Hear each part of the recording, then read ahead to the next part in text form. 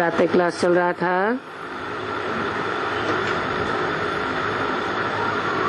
उन्नीस आठ चौसठ, बुधवार। छठे पेज के मध्यान्ह में बात चल रही थी।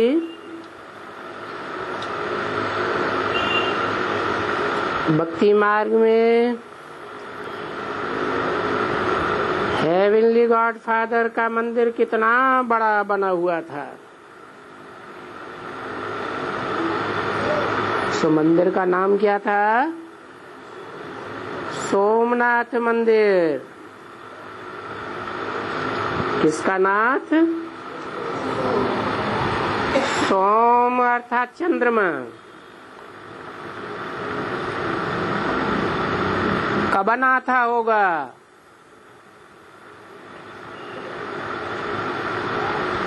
चंद्रमा कहो, ब्रह्मा कहो, कृष्ण की आत्मा कहो। जो अपन को ढाई हज़ार साल से भगवान माने बैठी है, उसको कब नाथा था? जो नाम पड़ा सोमनाथ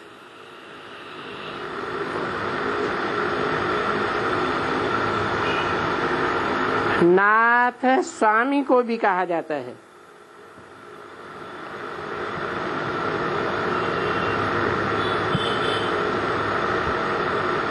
वो हमको सिखलाते हैं।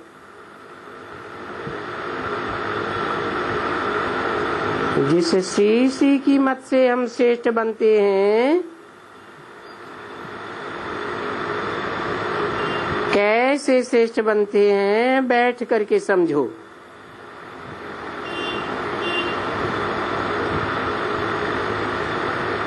कौन सिखलाते हैं?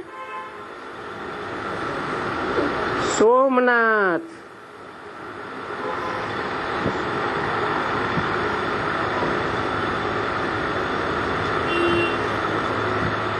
और इशारे से समझ जाओ कि हमारी मेडिटेशन कितनी सहज है।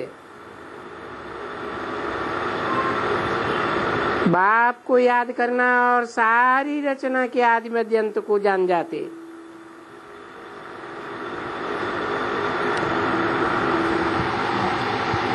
और तो दुनिया में कोई भी नहीं जानते हैं। बिल्कुल नहीं। तुम जा करके कोई को भी पूछो सृष्टि का चक्र कैसे फिरता है? वो तो कुछ भी नहीं जानते।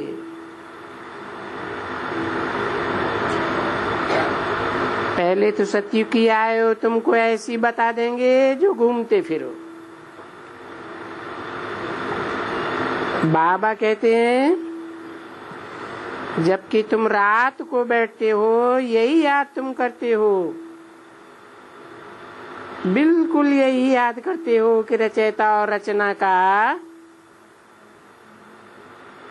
डिटेल क्या है। सबको कह सकते हो। ये तो पुरानी दुनिया है ना।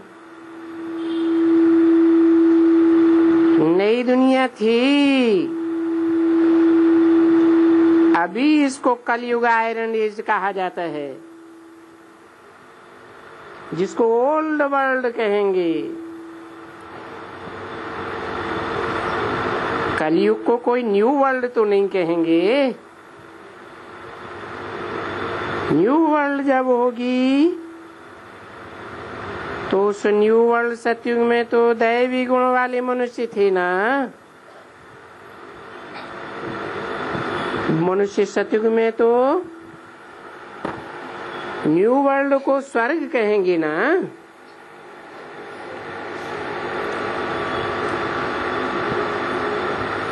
उन्नीस साठ चौसठ की वाणी का सातवां पेज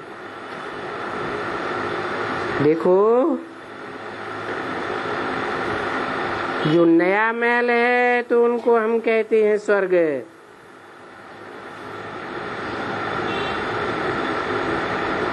पीछे वो गंदा हो जाता है। जड़ा जड़ी भूत हो जाते हैं। तो उनको हम कह देते हैं नरक।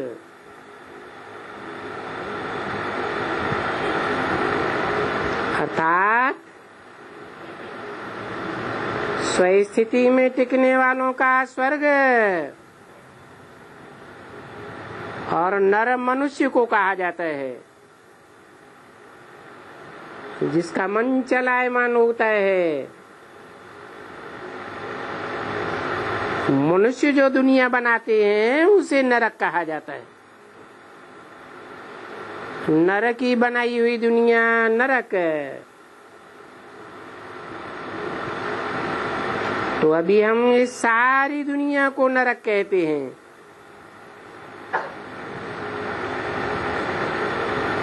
घर घर में नरक है। बल्कि कहो, सारी दुनिया में नरक है। क्योंकि घर घर में अशांति है। झगड़ा मारा मारी गंद विकार।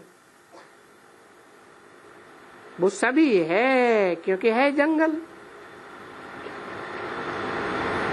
इस जंगल में जंगली जानवरों से भी बदतर रहते हैं।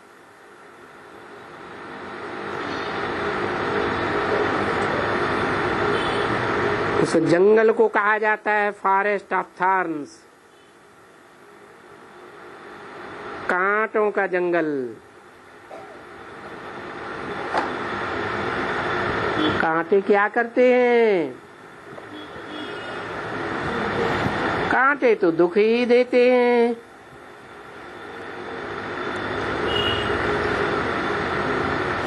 तो फॉरेस्ट ऑफ़ थॉर्न्स अंग्रेज़ी में लिखते हैं ना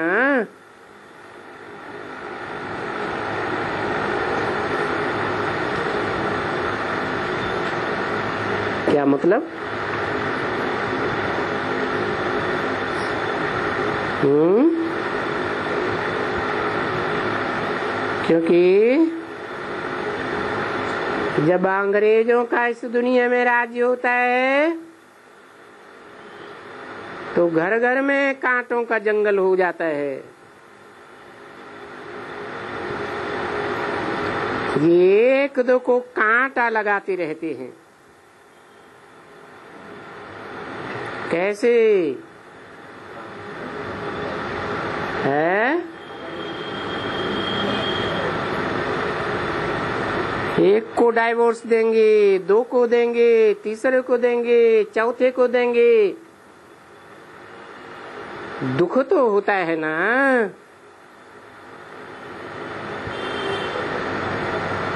वो बाप आकर के फिर गार्डन ऑफ़ अल्लाह स्थापन करती है।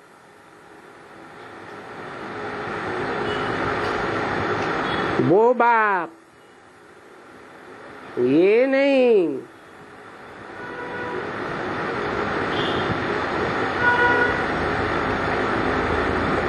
वो मुसलमान लोग भी जानते हैं कि गार्डन ऑफ़ अल्लाह।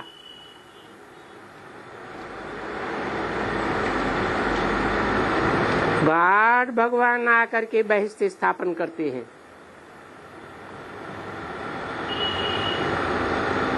तो बहिष्ठ तो अभी है ही नहीं। कांटों का जंगल तो है ना। तो तुम बच्चों को मालूम हो गया कि किसको कांटों का जंगल कहा जाता है। हम्म? यहाँ सब एक दूसरे को कांटा लगाते रहते हैं। काहे का कांटा?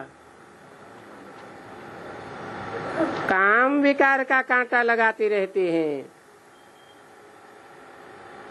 उसको कांटों का जंगल कहा जाता है। फिर किसको फूलों का गार्डन कहा जाता है? जानते हो अभी तुम कांटों से दैवी फूल बन रहे हो? तो इस बात का चिंतन चलना चाहिए ना। दिन में भी, रात में तुम नॉलेज लेते हो। दिन में याद नहीं पड़ता है? तो रात को बैठ करके यही नॉलेज याद करो। बाबा में भी यही नॉलेज है। और बच्चों में भी यही नॉलेज है। जो रात को भी तुम बैठो, बड़ा मज़ा आएगा। ऐसे कोई आवे हमारे पास तो हम ऐसे समझाऊँगा। क्योंकि सेवा करने वालों को तो यही बुद्धि में रहेगा।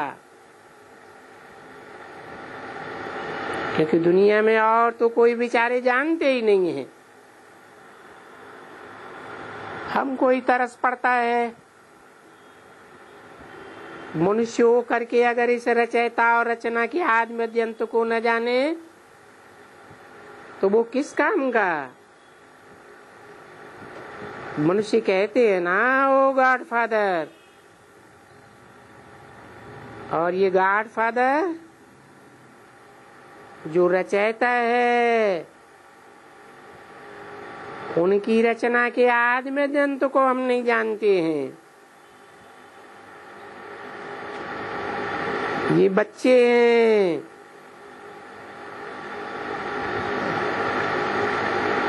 या कौन है? उल्लू है, पाजी है, कौन है? देखो तो हम कैसे बन जाते हैं।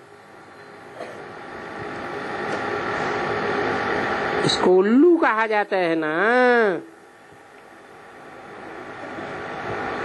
हम अभी उल्लू के बच्चे। फिर अभी हम अल्लाह के बच्चे।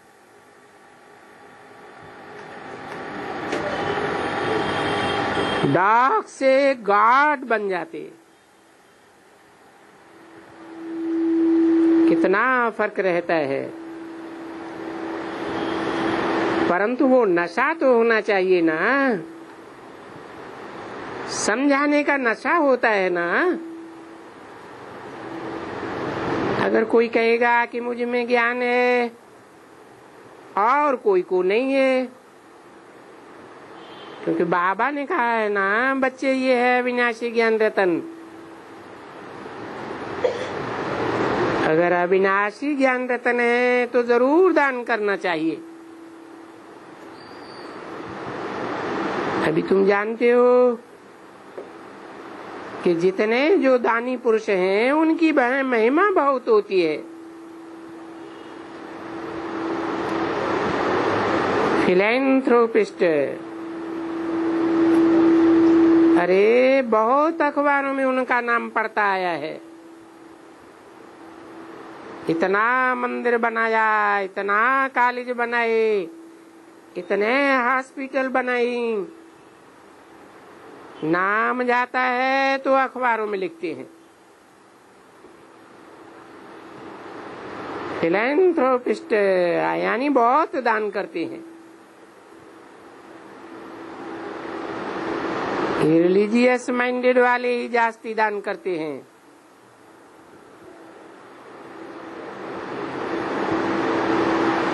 जो रिलीजियस होते हैं, वो नहीं दान करेंगे। और तुम तो हो ही रिलीजियस माइंडेड और तुम्हारे पास अविनाशी ज्ञान रतन है।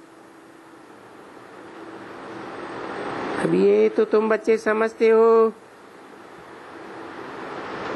ऐसे तो नहीं हो कि मंद बुद्धि हो मूड बुद्धि हो। समझते हो कि जो जो जितना जिसके पास धन है, वो इतना इतना ही दान करेंगे। जिसके पास दान कमती होगा तो कमती दान करेगा। और नहीं होगा तो कुछ भी दान नहीं करेगा।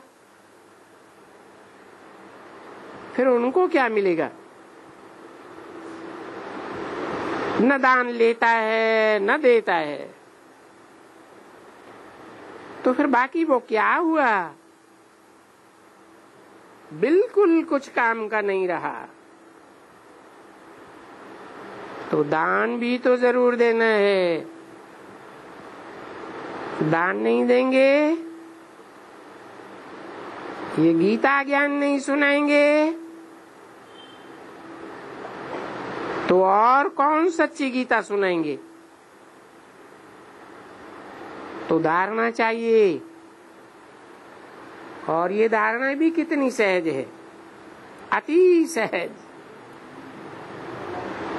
किसको भी बैठ करके समझाना?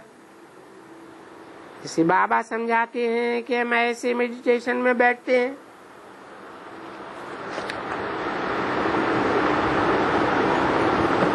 ये दुनिया का चक्कर है ऐसे ऐसे चलता है।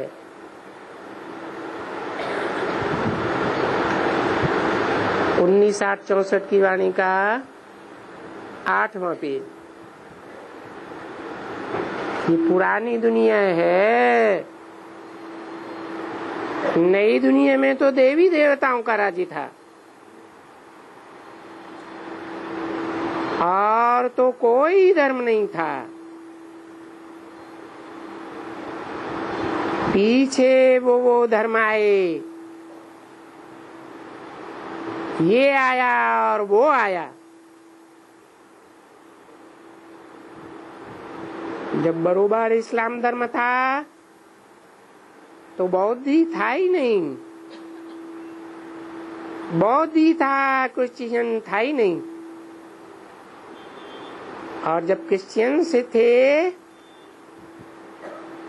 क्राइस्ट आया तो फिर ये मठ पंथ सन्यासी, वन्यासी, पूछड़ी पूछड़ी वाले, ये पिछाड़ी की बिरादरी थी ही नहीं।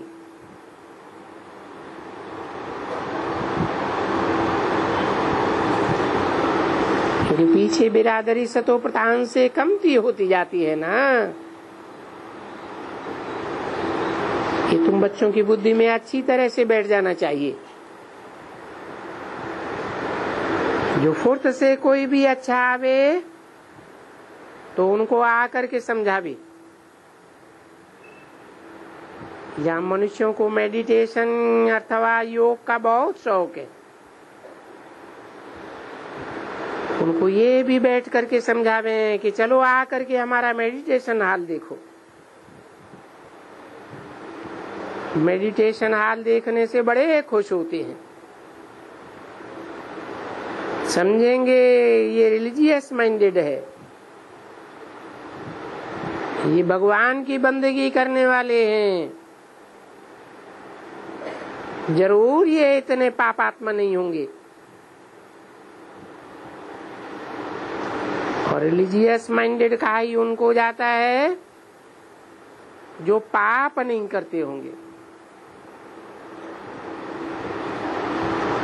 परंतु आज की दुनिया में तो बहुत जो रिलीजियस माइंडेड हैं, वो बहुत पाप करते हैं। ये बड़ी समझ की बातें हैं। और इनको समझने में कोई बड़ी मेहनत भी नहीं है। बाप को याद करना और रचना को याद करना, इसमें मेहनत क्या है? और सबको समझाना है। जैसे बाबा ने समझाया है कि हम ऐसे मेडिटेशन में ये याद में बैठते हैं। योग माना ही याद। और तो मनुष्यों को पता नहीं किस किस को याद करती हैं। हमको तो सिखलाने वाला स्वयं परम पिता परमात्मा है। वो परम पिता परमात्मा निराकार हमारा बाप है। और हम आत्मा हैं। उस बाप को कहा ही जाता है पतित पावन गॉड फादर वो ही हमको राजयोग सिखलाते हैं। वो हमको ऐसे कहते हैं। वो हमको ऐसे ऐसे सिखलाते हैं। अब तुम सीखो या न सीखो। बाकी हम सब की तो एक मत है। श्री बनने के लिए हम श्री श्री से मत ले रहे हैं। अभी देखो। श्री का एम ऑब्जेक्ट ये है। बरोबर इस समय में बहुत झगड़ा आता है, एकदम। बहुत मनुष्य है। और जब इनका राज्य है तो राज्य तो बहुत थोड़ा होगा। सतयुग में मनुष्य बहुत थोड़े होंगे। पीछे कैसे वृद्धि को पाते जाते हैं? और तुम तो हर एक चैतन्य बीज रूप हो गए, एकदम नॉलेजफुल क्योंकि जैसा बाप, वैसे बच्चे। ऐसे ही कहा जाता है ना? से बाप ये जानता है ज़रूर कि बीज रूप है। जैसे जड़ बीज होते हैं तो उनको झाड़ का नॉलेज होना चाहिए। परंतु उनकी नॉलेज भी हमको है। इस दुनिया में तो अपने झाड़ की नॉलेज नहीं है कोई को। साधु, संत, महात्मा, किसको भी नॉलेज नहीं है। मेडिटेशन का भी तुमको युक्ति से समझाना चाहिए। वो कैसे अनेक मत वाले हैं और हम एक मत हैं। अच्छा तुमको बहुत समझाया। समझाना तो मिनट मिनट भी है, एक मिनट भी बस है। बाकी तुम बच्चे भी मेडिटेशन में रात को भी बैठेंगे, बड़ा मज़ा आएगा। क्योंकि तुमको दूसरों को भी सिखलाना है। तो जितना तुम बाप को याद करेंगे, इतना तुम्हारे पास धन जास्ती होता जाएगा कैसे? याद करने से धन कैसे बढ़ेगा? है? बाप को याद करेंगे। बाप है अति सूक्ष्म। जैसे को याद करेंगे, बुद्धि भी सूक्ष्म ही बनेगी। और सूक्ष्म बुद्धि में ज्ञान जास्ती ठहरेगा।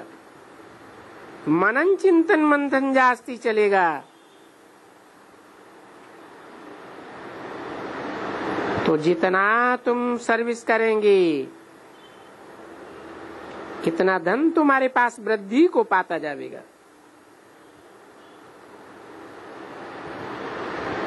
गाया जाता है धन दिए, धन ना कूटे। मनुष्य दान क्यों करते हैं? समझते हैं कि दान करने से हमको प्राप्ति होगी।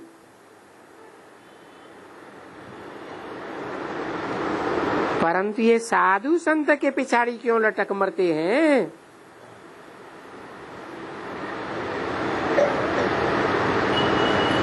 धन मिलता जाता है तो समझते हैं साधु की कृपा है। इसलिए उनको भी दान करते रहते हैं। अब दान करते हैं तो उनका फल उनको ज़रूर मिलता है। ऐसे नहीं है कि कोई को निष्काम सेवा करते हैं, जो उनको फल न मिले। मनुष्य को फल ज़रूर मिलता है।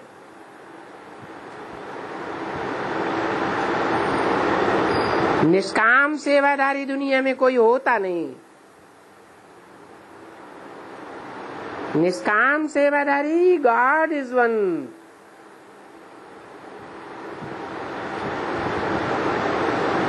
और निष्काम सेवा करने वाला भी एक है। जिसको तुम समझ सकते हो। दुनिया वाले तो पहचानेंगे भी नहीं।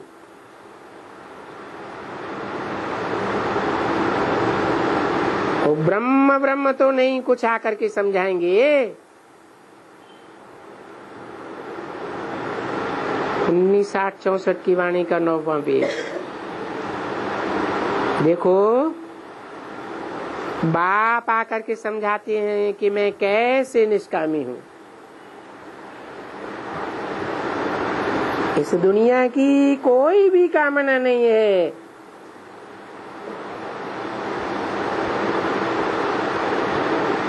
और आने वाली दुनिया में भी कोई भी पद मान मर्तबे की कामना नहीं है।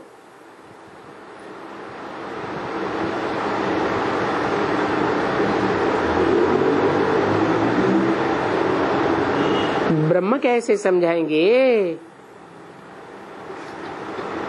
या वो तत्व कैसे समझाएँगे?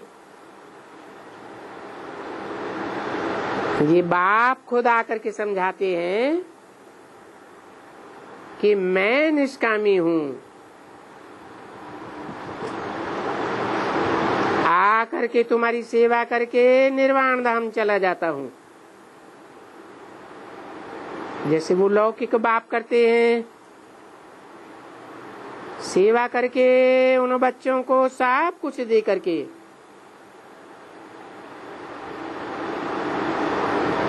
फिर वान प्रस्थ में जाकर बैठते हैं।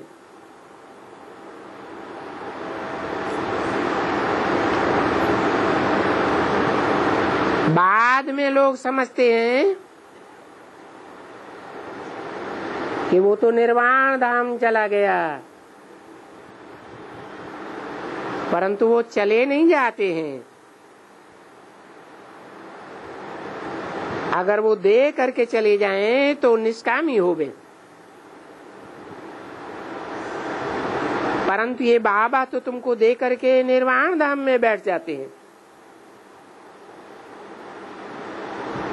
बोलते हैं, मैं तुमको गद्दियों पर राज भाग दे करके फिर जा करके निर्वाण धाम में बैठ जाता हूँ। कोई मनुष्य ऐसे थोड़े ही कर सकते हैं? वास्ट डिफेंस है।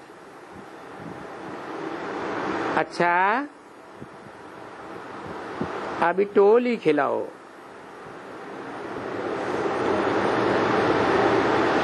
समझते हो कि बागवान माली वगैरह ये है? देखता है कि हमारे फूल कैसे हैं। कैसे उन्नति को पाते हैं। पानी तो इनको देता रहता हूँ।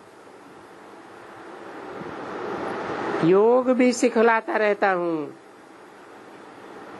यही पुरुषार्थ करना है।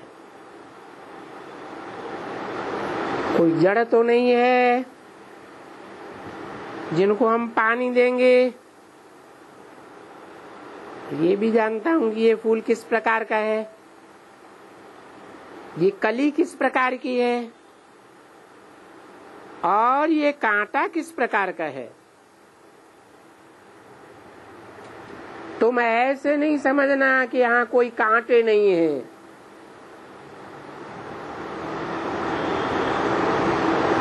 ओह, यहाँ भी बड़े बड़े कांटे हैं।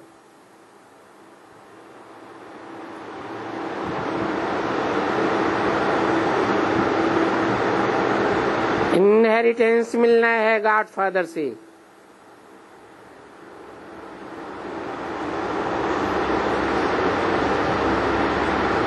क्राइस्ट को इनहेरिटेंस अभी मिलेगा।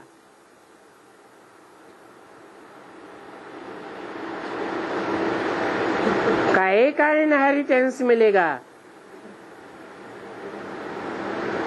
उनको इनहेरिटेंस मिलेगा अपना धर्म स्थापन करने का।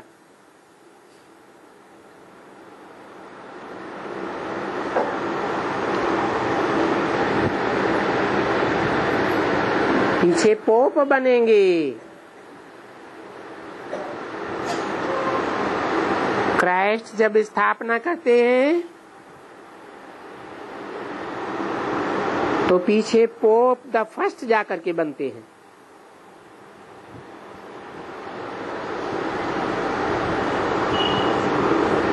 फिर नंबर बार जो भी उनको सहयोग देते हैं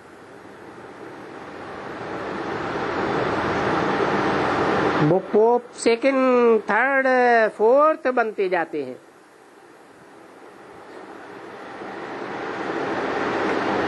जैसे ये है, जो मेहनत करते हैं तो ज़रूर पहले नंबर में जाएँगे ना। तो क्राइस्ट दूसरे जन्म में क्या लेगा?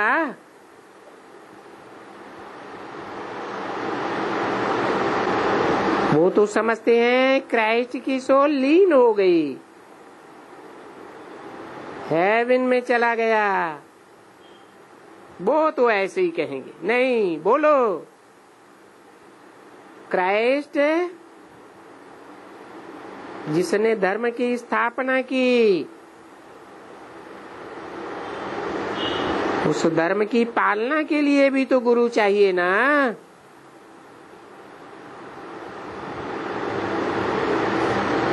तो ये पोप लोग। इन क्रिश्चियंस के बड़े गुरु हैं। जैसे ये लक्ष्मी नारायण तुम्हारी पालना करने वाले हैं, वैसे वो भी हैं।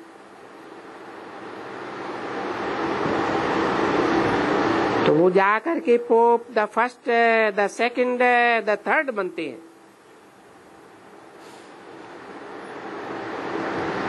अभी कहते हैं, क्राइस्ट कहाँ है? कहेंगे, वो एक बैगर के पार्ट में है।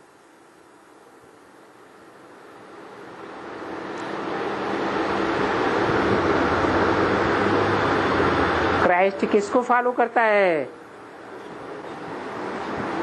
है?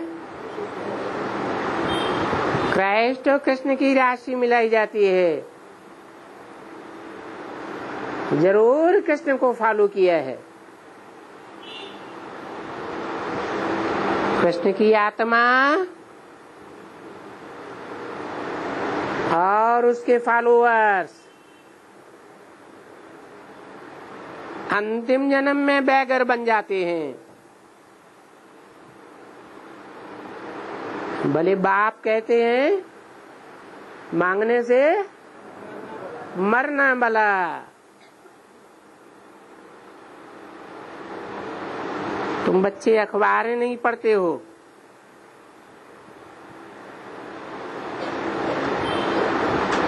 उनको मालूम है कि अभी जैसे बैगर के पार्ट में है, यानी गरीब है।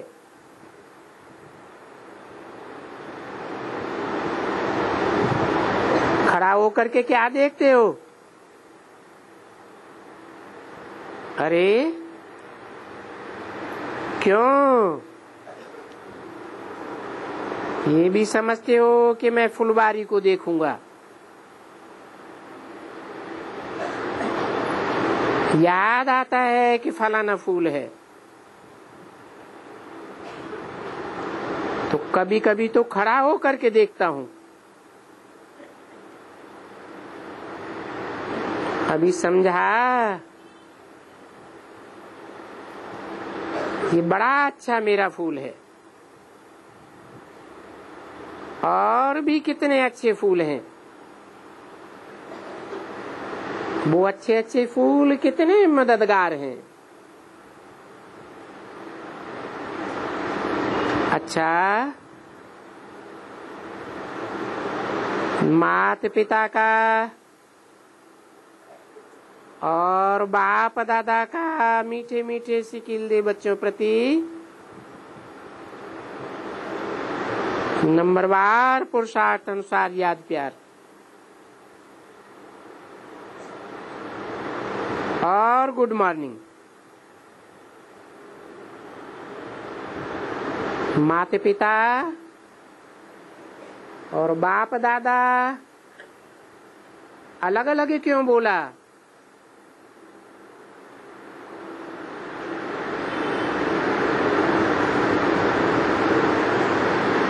बाप दादा कंबाइंड पार्ट है। एक ही शरीर में दो आत्माएँ हैं। एक बाप है, एक बड़ा भाई है, जिसे दादा कहा जाता है। बाप बड़ा या दादा बड़ा? तो बाप शब्द पहले और दादा शब्द बाद में। कौन हुआ बाप और कौन हुआ दादा? जो एक ही शरीर में कंबाइंड होकर पार्ट बजाते हैं। कहेंगे, दादा जो कृष्ण वाली आत्मा है, जो सच रूपी रंगमंच पर पहले पहले जन्म लेती है वो हमारा दादा है। और उसे कृष्ण को जन्म देने वाला सारी सृष्टि का, मनुष्य सृष्टि का बाप है। ये हुआ बाप दादा। बाकी माता पिता कौन?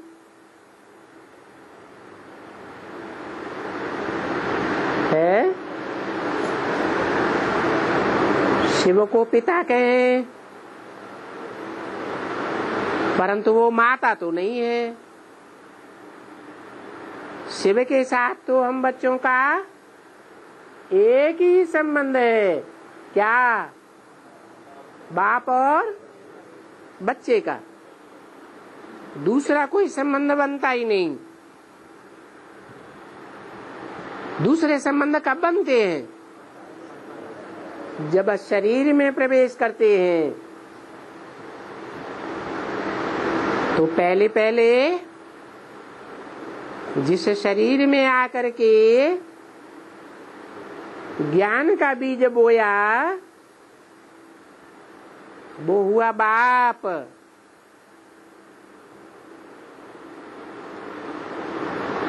और बाप क्या पार्ट बजाता है?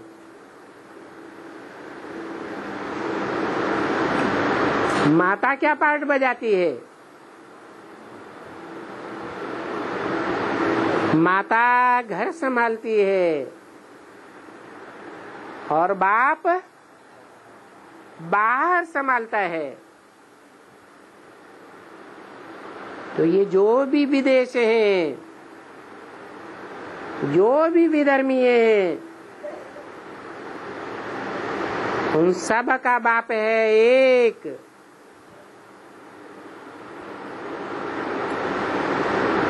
और बाप के साथ माता भी चाहिए। जो घर अर्थात भारत देश को संभाले।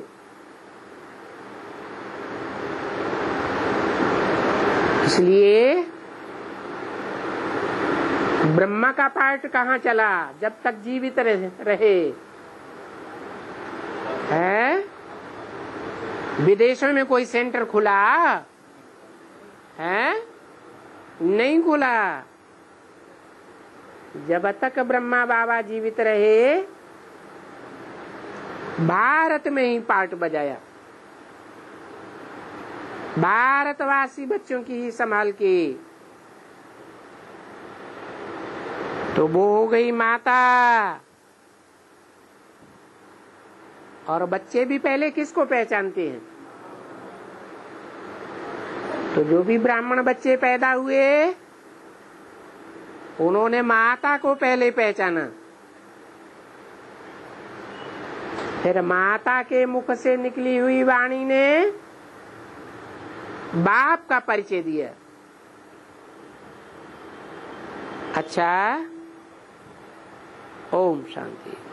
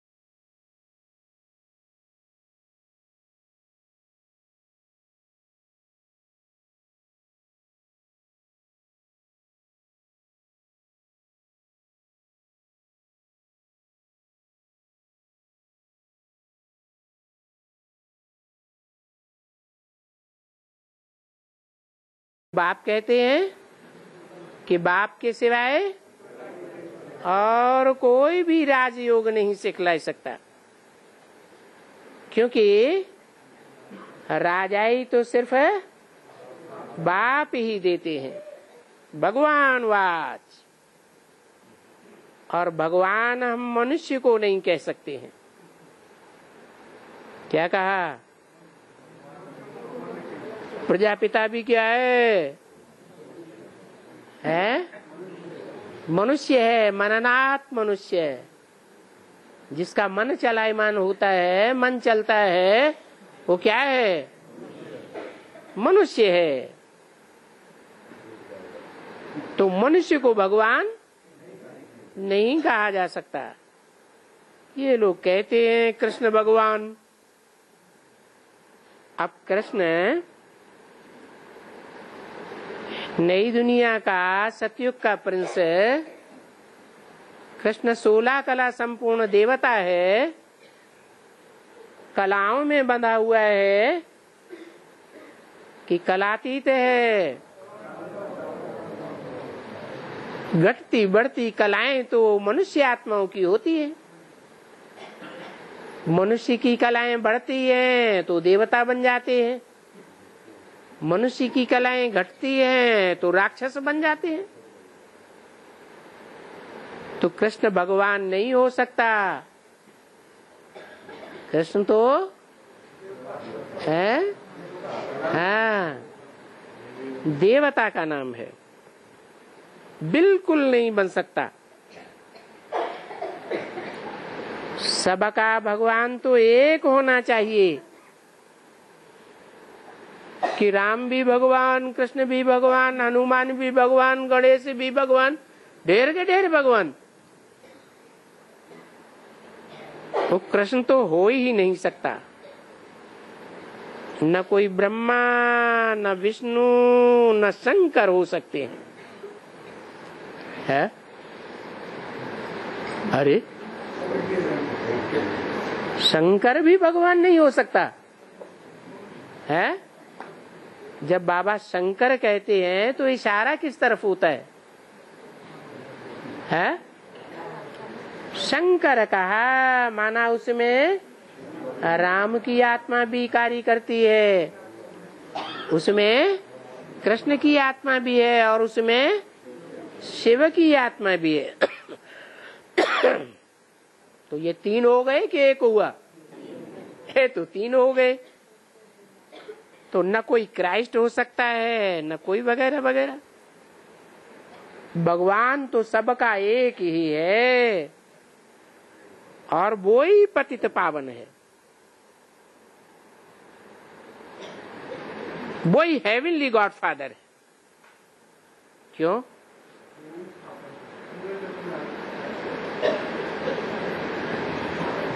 हेल गॉड फादर क्यों नहीं? है? अरे हेड गॉड फादर कौन? और हेविनली गॉड फादर कौन? हेविन स्थापन करने वाला सिर्फ़ है एक ही शिव बाबा है। बाकी तो इब्राहिम, बुद्ध, क्राइस्ट, ब्रह्मा आदि सब आया राम गया राम स्वर्ग तो कोई ने स्थापन किया ही नहीं। तो जबकि स्थापन करना है हेवन स्थापन करना है? किसको हेवन स्थापन करना है? हेवन किसको बनाना है?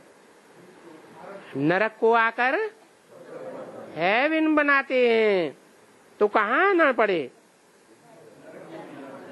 हैं? हाँ। ऐसे नहीं वहाँ बैठे बैठे ही बन जाएगा। या जैसे वो बीके वाले कहते हैं, क्या? वो आता है ब्रह्मा के तन में और ज्ञान सुनाकर चला जाता है। और हैविन हैविन हम बनाएँगे। बरोबर। वो बेहद का बाप भारत में आते हैं। क्यों? भारत ही नाम क्यों दिया?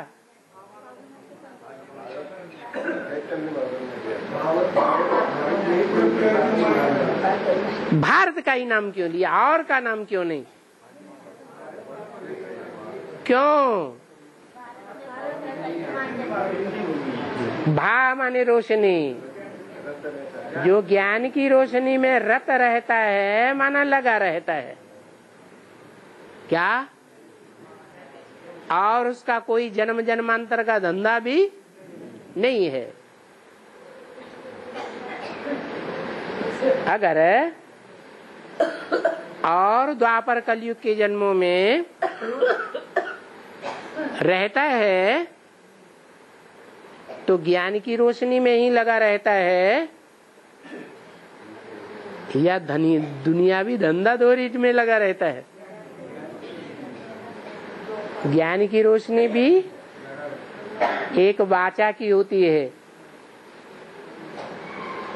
एक शास्त्रों की लिखा पट्टी होती है। और एक शास्त्रों में जो बोला हुआ है, उस बोले हुए को प्रैक्टिकल जीवन में लाकर दिखाने की बात होती है। असली ज्ञान कौन सा हुआ? जैसे मुरली में भी ज्ञान है, बीके वाले मुरली सुनाते हैं। अर्थ नहीं जानती। एडवांस वाले मुरली के माँ वाक्य भी सुनाते हैं और अर्थ भी बताते हैं। अर्थ की गहराई में भी भावार्थ भी समझते हैं और समझाते हैं। फिर उससे सिर्फ़ बाचा में आने से क्या काम बन जाता है? है? नहीं। ब्रह्मा का पार्ट है वाचा में आने का। सुनना और सुनाना। और ब्रह्मा कुमार कुमारों का भी यही पार्ट है। क्या? छोटे बच्चों की तरह सिर्फ़ सुनते हैं और सुनाते हैं। अर्थ की गहराई को नहीं समझते हैं।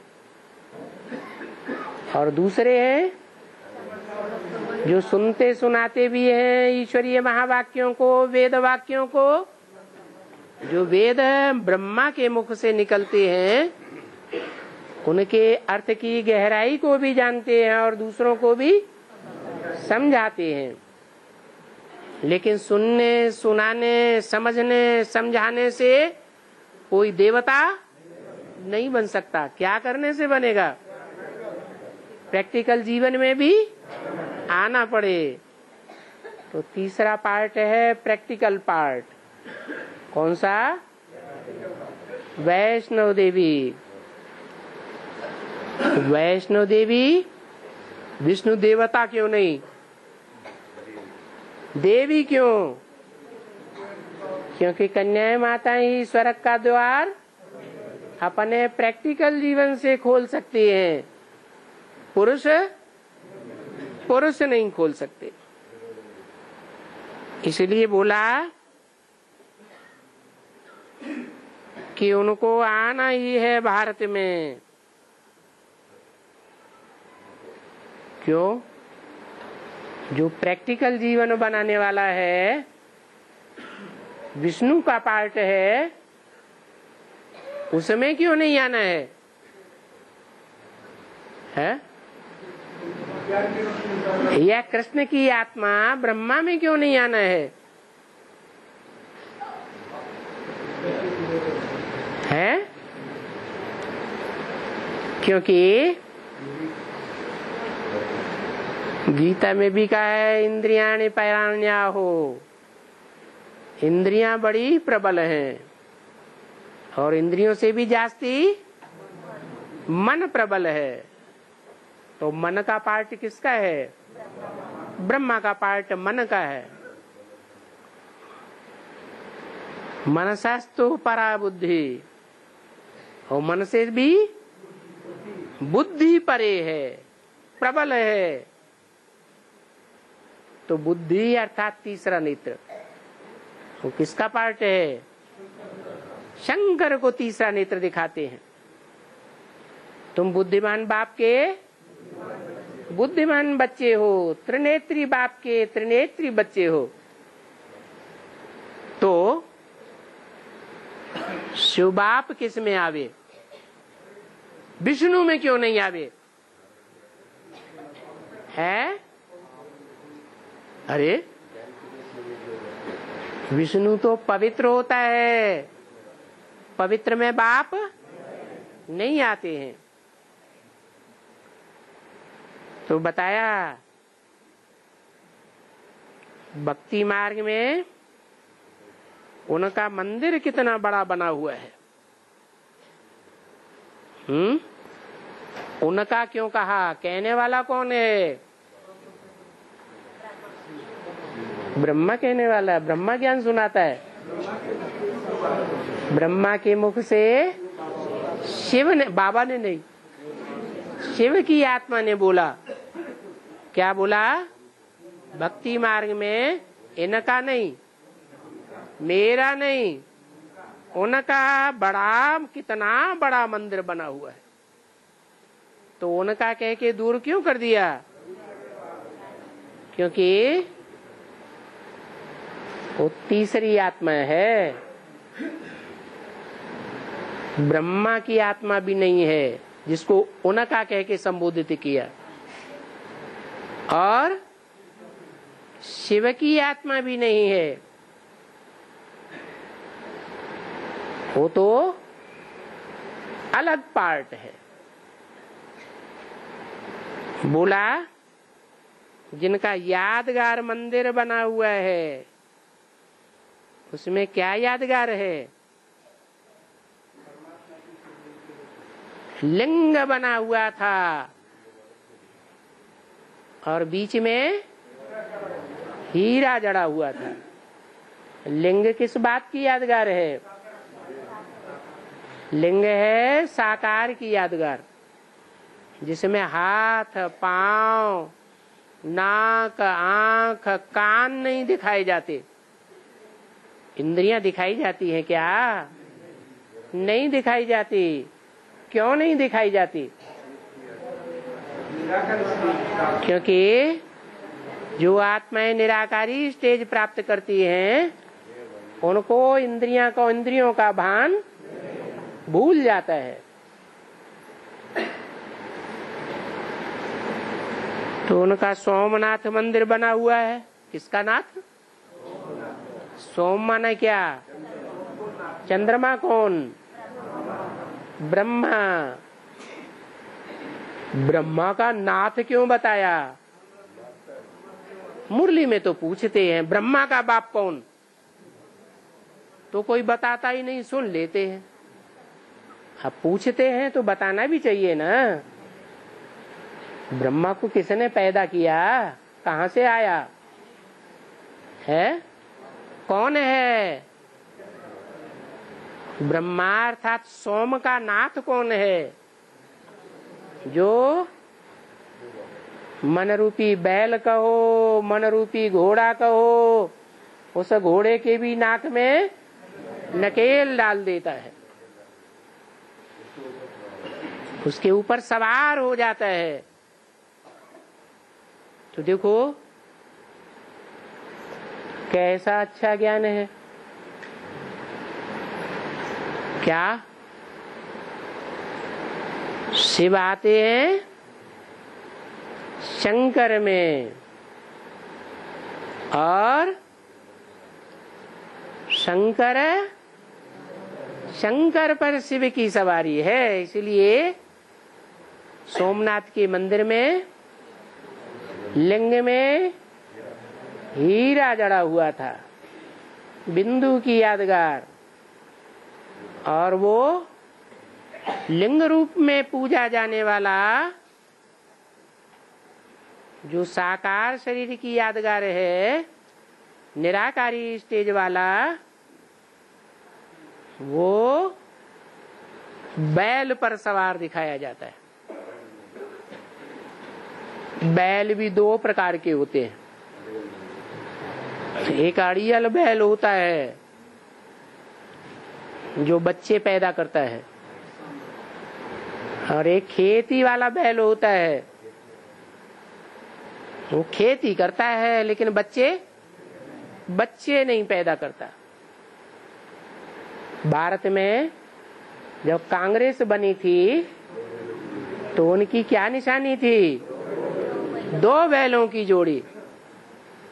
एक राइटियस, एक लेफ्टिस्ट। राइटियस के लिए क्या कहते हैं? चलाते हैं तो राइटियस के लिए क्या कहते और लेफ्टिस्ट के लिए क्या कहते है? अरे कहते हैं कि नहीं कहते कुछ? है? नहीं मालूम। क्या कहते? हैं? हाँ जब गाड़ी चलाते हैं, दो बैलों की गाड़ी चलाते हैं तो राइटियस बैल की। लगाम पड़ के पकड़ के कहते हैं, आ आ आ आ। तो वो घूम पड़ता है। और जब लेफ्टिस्ट बैल की लगाम पकड़ के चलाते हैं तो कहते हैं तिक तिक तिक तिक तिक अब तिक तिक करने से कुछ होगा क्या? है? होता है। नहीं। इसलिए अव्यक्त वाणी में बाप दादा ने क्या बोला? है? बहुत तिक तिक तिक तिक करते थक जाता है तो बाबा क्या बोलते हैं? है? अरे कितने प्रश्नोत्तरों की जड़ी लग जाती है। बाबा कहते, ये रावण के सिर हैं?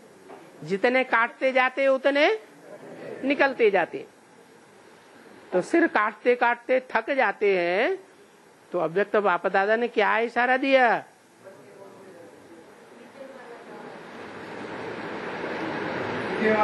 हाँ विजय माला का आवाहन करो।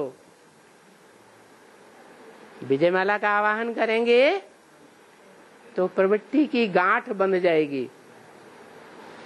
प्रवृत्ति से फ़ायदा होता है या निवृत्ति से फ़ायदा होता है?